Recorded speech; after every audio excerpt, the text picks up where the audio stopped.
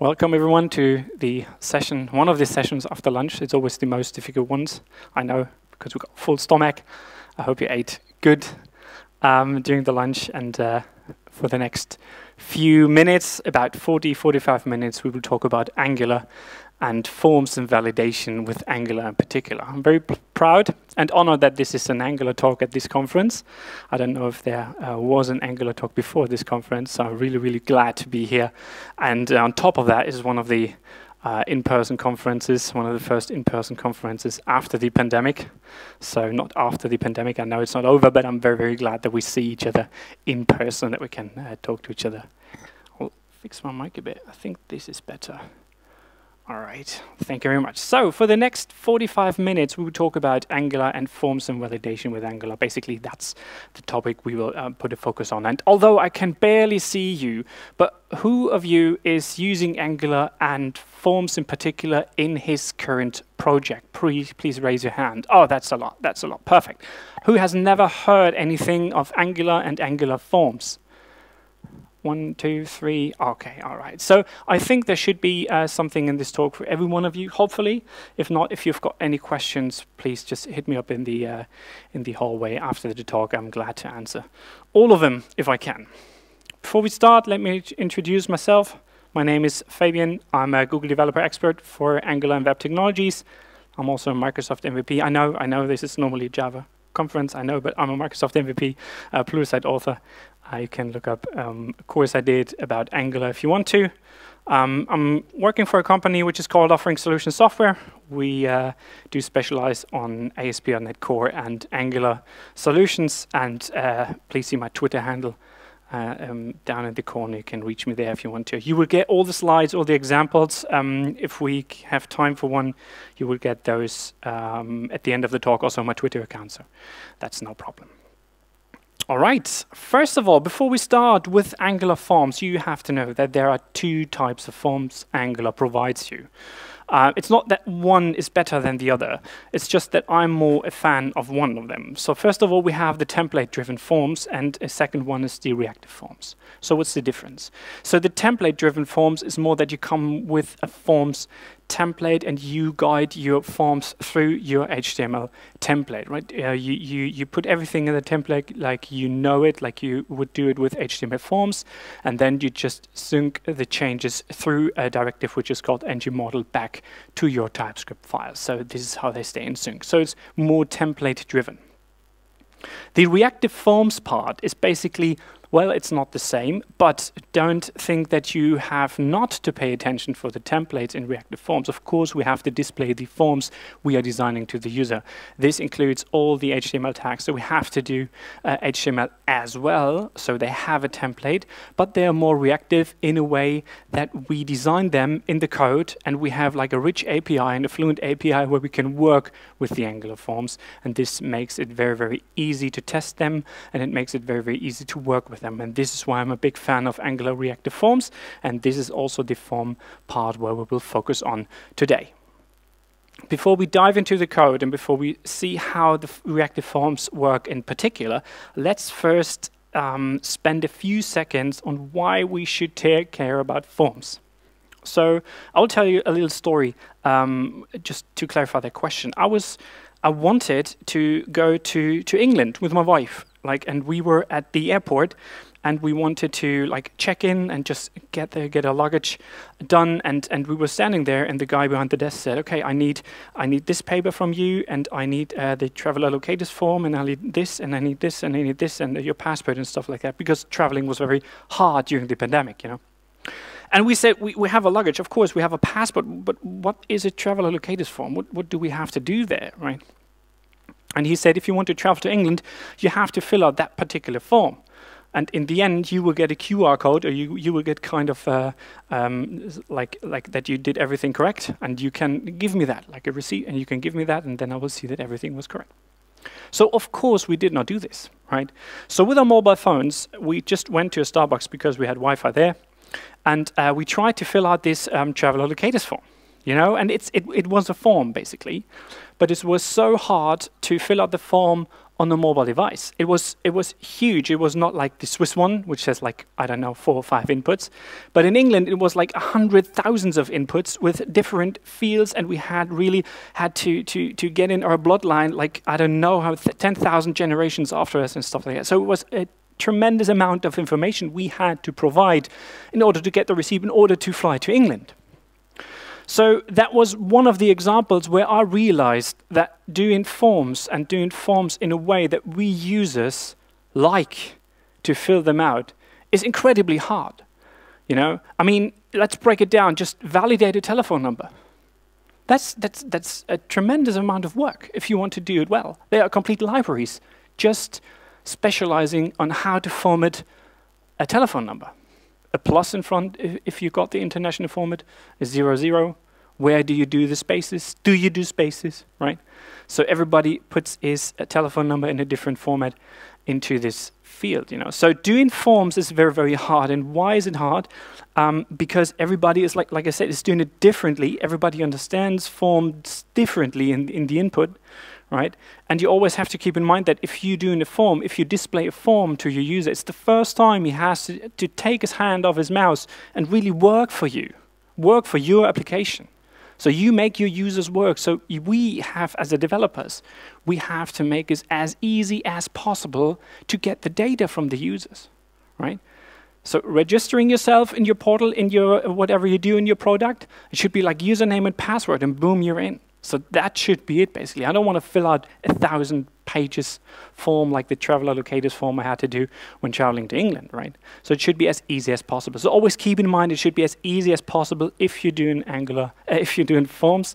And uh, I think Angular reactive forms really, really pay attention to that, and it gets very, very easy if we want to if we want to work with this. So forms are really, really important. Always keep in mind users have to work for you, maybe for the first time when they're using your product in your page. So this is why forms are very, very important. But let's dive into the code now. If we want to start with Angular Reactive Forms, I think you all have seen that. That's a normal app module. So um, what we have to do is we have to import the Reactive Forms module. The Reactive Forms module comes out of Angular Forms, which is with a new Angular product, it's there uh, by standard, so you can just import it and add it to your imports array. So the first import is the ES6 import. Here we are telling our Angular application, hey, I want you to import everything this module export, and then I can use all the functionality you are providing me, right? So we have to do both. The ECMAScript 6 import on line 2 for the type, and then um, just provide it to your Angular application. And if you are traveling along with Angular Forms, you will stumble upon uh, a control which is called the abstract control. And this is basically what the reactive forms are really, really about. It's one of the main concepts of Angular forms, and basically everything tears down to that. Um, so if you understand that, we made a huge step. So the abstract control, surprise, surprise, is an abstract class, abstract control if you dive into the source code of Angular, and it comes also out of Angular forms. And the abstract control is implemented in three different ways. So first of all, we have the form control, then we have the form group, and then we have the form array right? So these basic concepts are in Angular reactive forms. And if you understand all those three, it's easy for you to create Angular forms which are maintainable, which are easy to read, and which the user can like fill out with ease, right? So first of all, let's talk about the form control itself. So this is the first one I want to pay attention to. The first one is maybe the smallest part if you want to start with Angular forms. So how does it look like? If we have like a component like this, the first thing we can do is we can import the form control, which is also coming from Angular forms, right? So now my component knows about the type, and after this, we can use like a normal input with the HTML API, which we have seen for many thousands of years, right? So normal input, and we enhance it with the directive form control, and we bind to it a property which is called name, right? So what, what this form control directive now does is, is just enhances the input and tries to sync it with the component with the form control, uh, which is called name, and this is a normal property here, and this is a new form control. We just newed it up, and there we have a new instance of a form control, right? This directive because that's nothing else than a directive, this form control, we, are, um, we can use because we imported the reactive forms module. Everything the reactive forms module exports, we have imported in our module, and therefore the form control directive is known here. Right, so that's happening behind the scenes. And now we're taking it, and we're binding on it, the form control, which we are exposing here uh, with a name, and we're just newing up with the new form control. right? So these two work together, right? They, they belong together, and everything what you type in into the input gets now reflected into the new form controls. So it's synced automatically for you, right? And not only that, um, that we have the value synced, we also have a rich API on that, right? So we can ask for maybe the status, the value, which is basically what you typed in, or the errors on that particular form control if you want to. All those properties come from the abstract control right?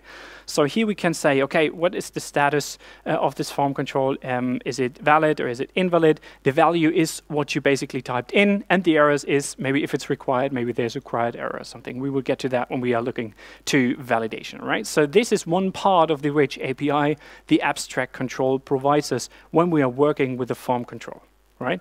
Everything is coming out of here. We have a lot of more properties when we are talking about the abstract control, right? We have the value, um, which is an any type. We will get to that later because that changes in the new version of Angular. We have the value type. Um, we have the status, uh, which is a valid, invalid. We have the valid or invalid properties here. We have if, if, if it's pending, disabled, or enabled. This is very important because we have this pending state as well. So um, there's a pending, disabled, enabled.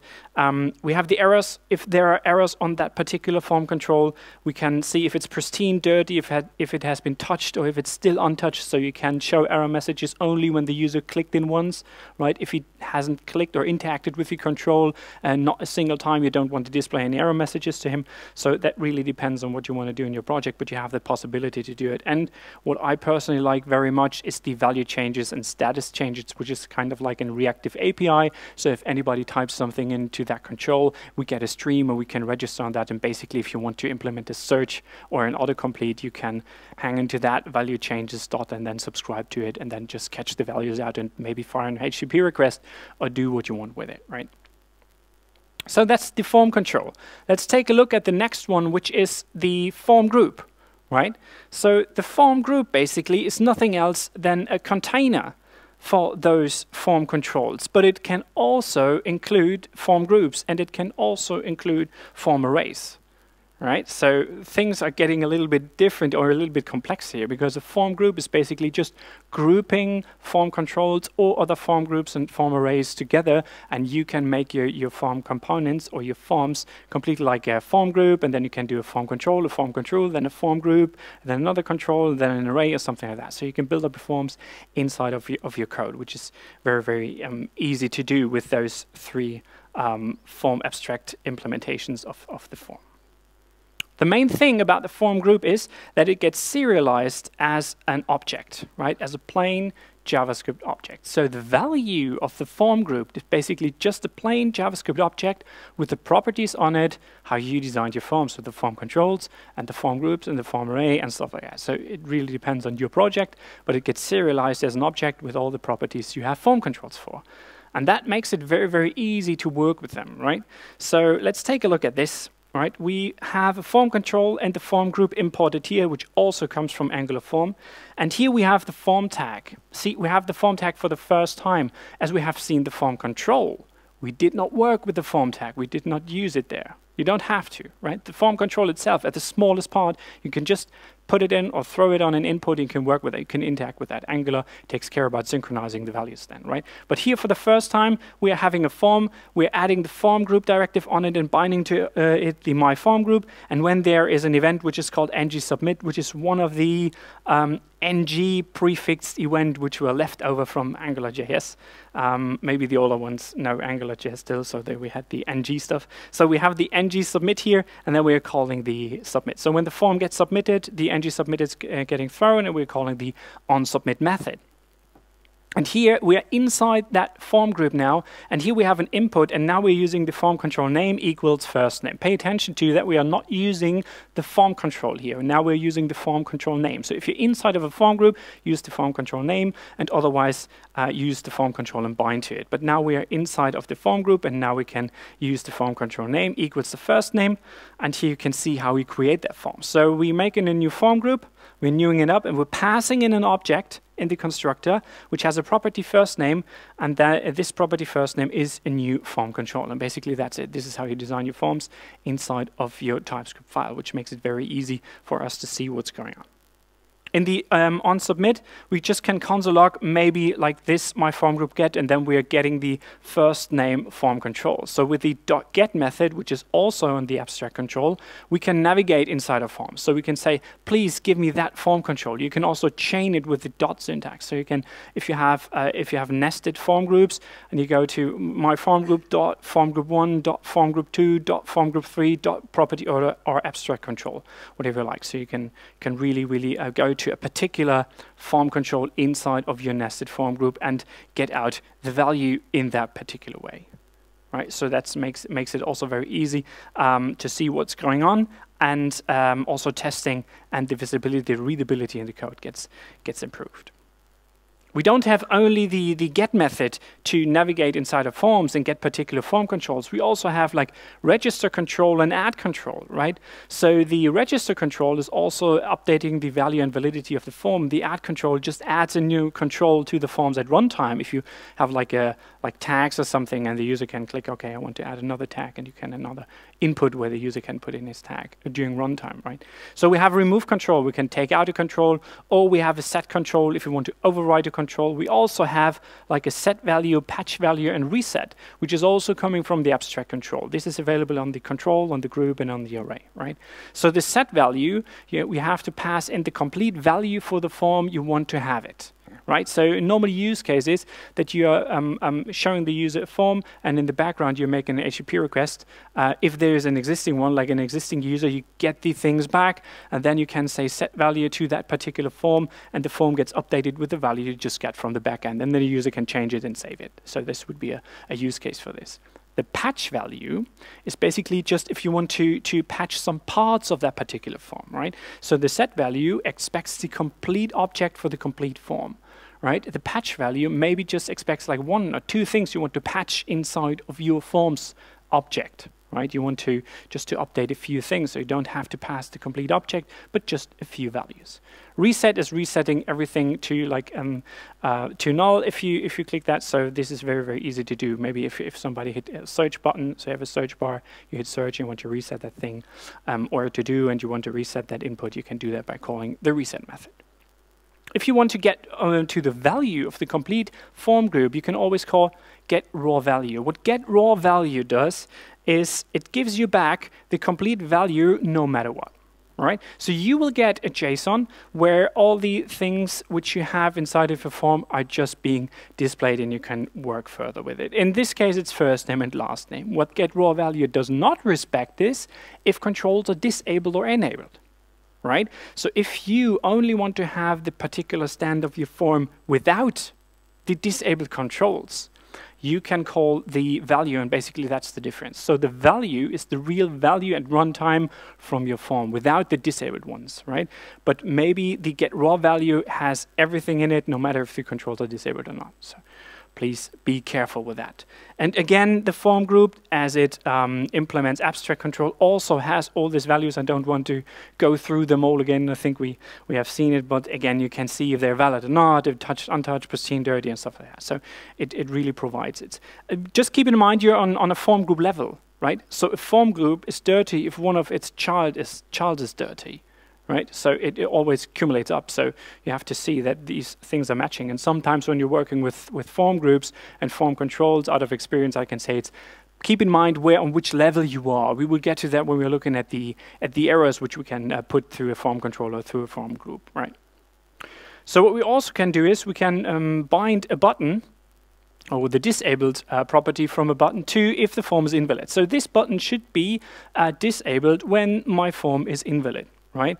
So please take care of that if you're doing this. This is a common like uh, um, a common thing which you which I'm seeing in a lot of projects, but please pay attention to that because if you do this, this button will also be enabled in the pending state. I mentioned the pending state earlier, right? So the pending state is when we have like asynchronous validation.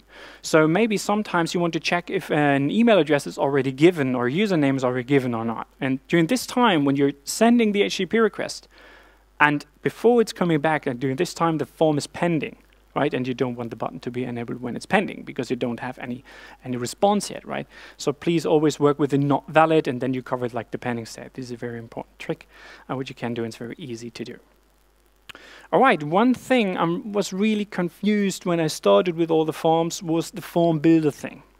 Um, we did see how we can create forms with the constructors I showed you right, with the with the new form group and, and new form control and stuff like that. But there's another kit in town which is called the form builder. And the form builder basically is just like a, a, service, kind of like a factory where you can create all those things. They, they, they run in parallel. You can choose whatever you want to, right? I personally like the form builder a little bit better, but let's take a look how that works. So the form builder basically is nothing else than here you can see the old style, how we can do it, uh, or the old style, like the first style we have seen, like newing things up. But I don't like to new things up. I personally love to, to inject the form builder. So the form builder also gets provided by Angular Forms. And here you can see our template is not changing at all right? So a template stays the same no matter how you create your forms in the background in your TypeScript file, but we can inject the form builder here, which is private fb, and this is the form builder, kind of like a, a factory or service, how we can create uh, form groups and form controls. And here we can say fb.group, you can also uh, say fb.control and stuff like that. So the form builders there, you can create forms with that as well. It's up to you what you use right? My experience consistency is the key, so if you choose one way or the other, choose it and stay with it uh, during the whole project. This would be fine, but you can see that the form groups, so the type does not change, and the template also stays the same, it's up to you. I personally prefer that syntax, but it's completely up to you. I just um, have them here like side by side, so on the left-hand side you can see uh, newing things up, on the right-hand side we are using the form builder. I personally think it's a little bit uh, more clear. So the last kit in town is the form array. Let's talk about the form array. Um, surprise, surprise, the form array is an array of form controls, right? In comparison to the form group, this gets serialized not as an object, but as an array now. So if you want to iterate over controls more easily, maybe the form array is something for you. Um, I have honestly, I have to say, genuinely, I've never used it in projects that much because form group and form control were always fulfilling all my needs, right? So the form array, but it's there, right? It's for like dynamic controls. As we have seen, we can register controls in form groups as well, but sometimes uh, in form array, like adding controls and removing them feels a little bit more like known if you're working with an array, like adding and removing stuff, right? Um, it's like you can better iterate over the controls, like I just said, and it's got serialized as an array. Let's take a look how that works, right? So first of all, um, what we are doing is we are having a form group and we're having a form array. Both are public properties, and then we are um, creating a form array by the form builder.array, and inside of that we are placing a new form control, and then this complete form array we are passing into the form group, right? So we have a group, where's an array, where's a control inside. So in this, we can now use in our template.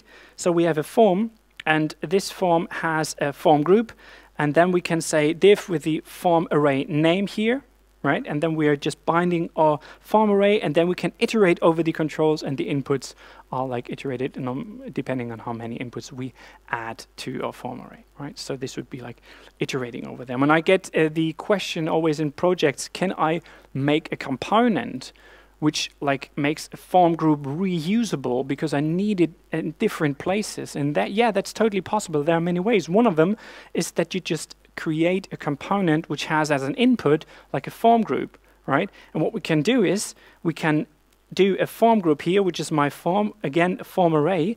And then inside of this form array, we are not adding a form control, but a form group right? And then we have like the complete group where we add this particular array. And in the template, then we have like the same syntax. If somebody submits the form, we're calling a method, and then we're just iterating over the form array controls, and we're passing the form array controls, which are form groups inside of the component, which has an input property with a form group, which makes the whole form group reusable.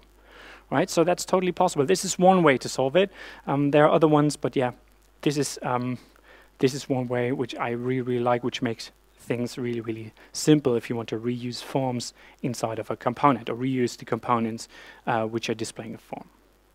Let's talk about validation because things are really, really getting interesting when we talk about validation. Validation is kind of like tell the user what has gone wrong with his inputs, right? Be as clear as possible. Tell the user what's wrong. Tell him why the phone number is not in the format you wanted to have. What is missing? Right? Or the credit card number, or an IBAN or something like that. This gets really, really um, expensive in terms of um, time you invest to make it as pretty as you can for the user, right? So the validation is also very interesting because Angular solved in a very, very sexy way, in my opinion, right? So we can, when we create this form, we can always pass the validators as a second argument when we are working with all the form controls, right? So we are telling them, hey, um, I want to, first of all, import the validators. Angular has standard validators, which are brought to you by default, out of the box there. And here, um, when we're creating the form, we can say the first name should be, should be empty in the beginning, and we want to have the required validator on it. So that's it. That's the required validator on it, and now the form is automatically invalid if this thing is empty, right? So you don't have to do anything else concerning this.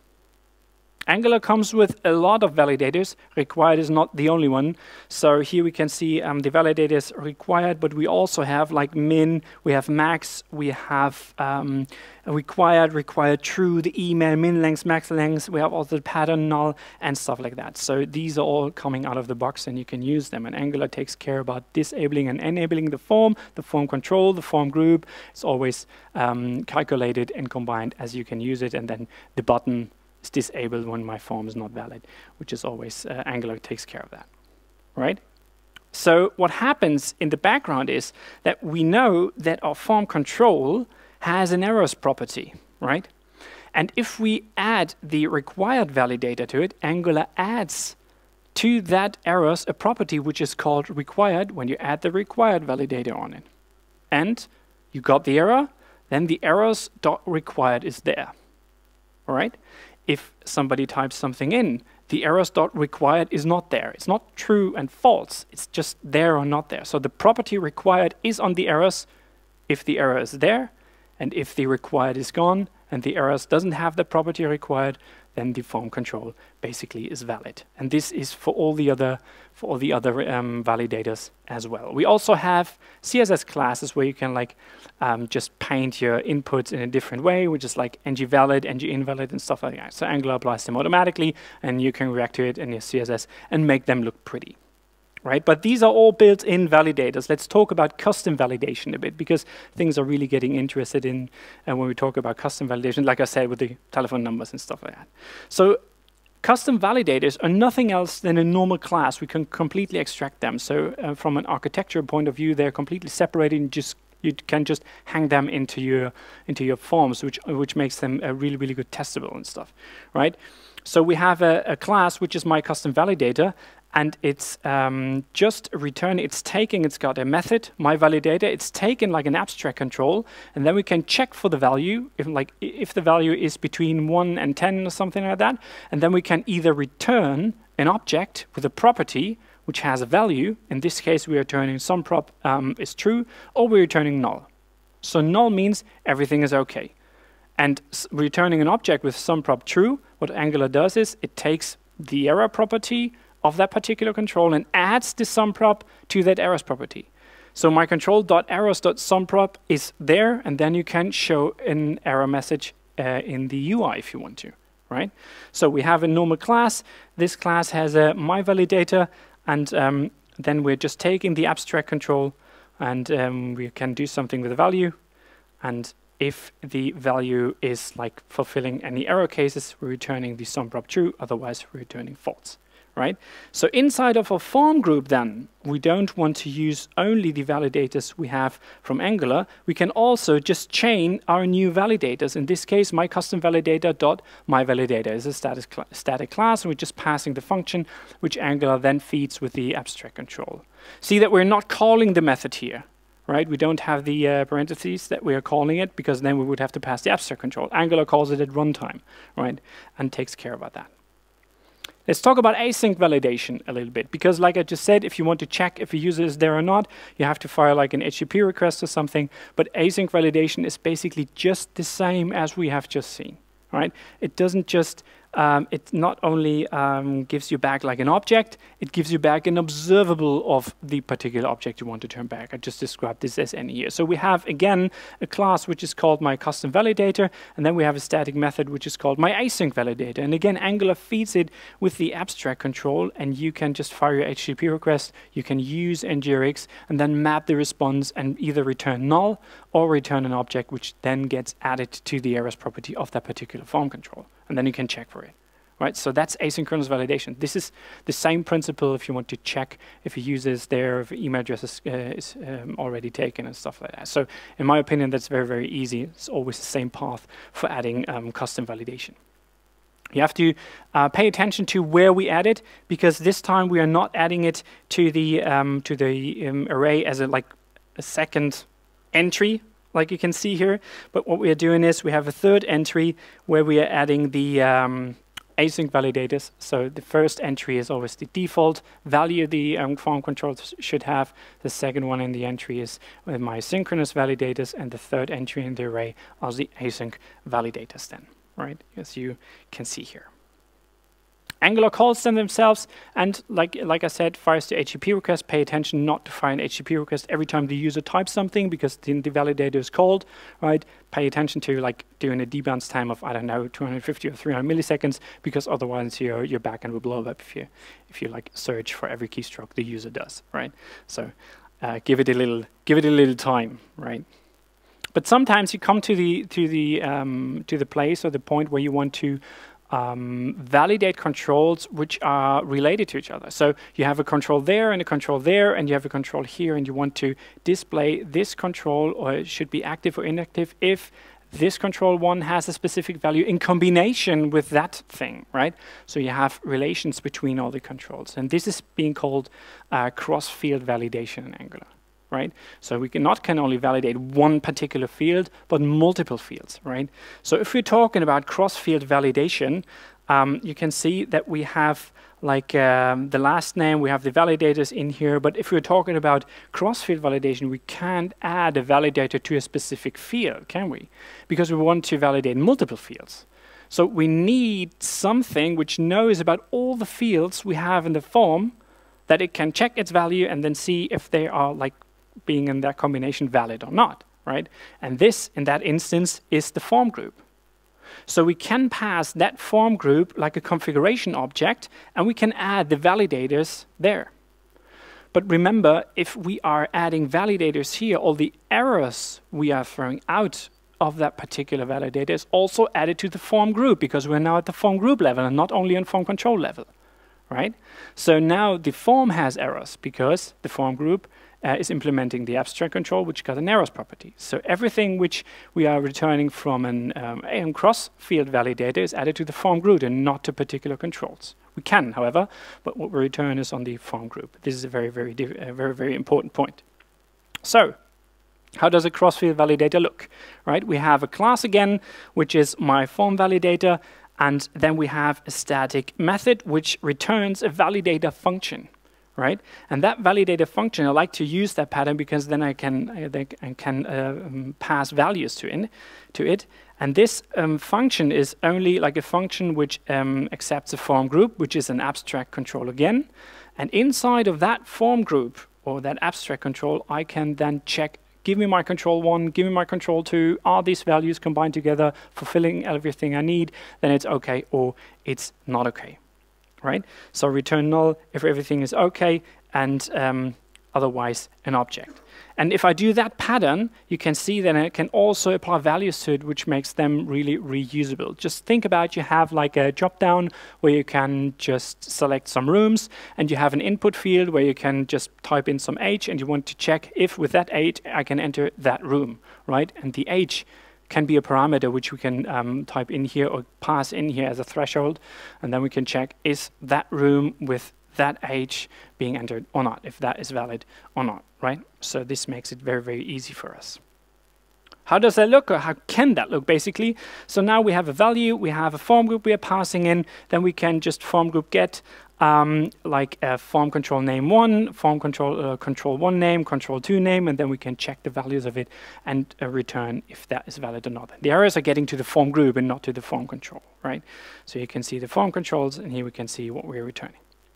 Let's talk about testing real quick because we have seen that all of those things are really, really separated. And this is what I personally like about that because testing really, really gets easy. So if I just want to test something, um, I can just test my validator. I can do a describe, uh, should return valid if uh, the value is empty. So what I'm doing is I'm just newing up a new form control. I'm setting the value to an empty string. So I'm passing it inside of my validator and I'm checking if everything is all right.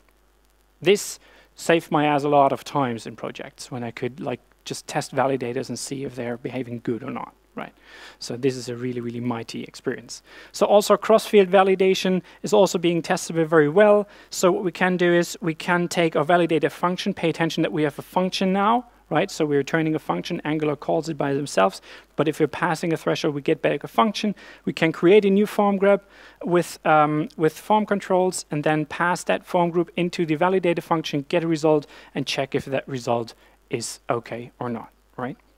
So we jump over the next test because that's basically the same. Um, what I also want to um, pay attention to, or what I want to tell you, is the value change, the rich API I mentioned earlier. So the value changes is uh, really, really powerful if you want to see if something changes either in my form group or in my form array or in my form control. So again, at the example, when you're doing like a search or something or an autocomplete, you can always listen to if something changes, I want to do something. It doesn't have to go over a validator. You can also um, subscribe to the value change and say, if my form group, my complete form group changes something, I want to do something else, right? But please not do validation in this. Validation has another way of implementing it as we have just seen it, right? This is just if you want to do anything else, um, like telling the user what autocomplete things uh, he can choose or something like that. Right. So the value changes is for the complete form group in this case, or you get a control first, and then you can um, register or subscribe to the value changes of that particular control. Everything is possible right? Let's talk about Angular 14 and, and the next version of Angular, because I know if you heard of it, but Angular introduces the type forms. Everything what we have seen so far is always the type any. We don't know that in a particular form control there is a string in it. We don't know if there's a number in it, but Angular added the new type forms in it. So the Angular 14 RC1, I think you can you can try it out. It's baked in there, but with Angular 14, when it's released finally, it will be in there. So these are the type forms. This is on GitHub. You can follow the discussion, um, which is very, very interesting. They also um, provided the way how they got there, where they are now I just provide a QR code which you can scan in the slides later. How I said, I provided them, or I will provide them over Twitter. It's not a problem. So let's take a look at that form. We have a profile component with a profile form. We're new things up, have a new form group, and um, we say profile form controls, first name, and then set the value 5. And the value 5 is a problem because the first name on line 3 is a string. And we're setting the 5 in it, which is basically not a string, right? So this was possible in the old days. In the new days, now with Angular 14 and type forms, Angular will check that this John is a string, right? And you can't pass a 5 in there. So argument of type 5 is not assignable to parameter of type um, string or null. Null it has to be because when you reset, it's, it's set to null right?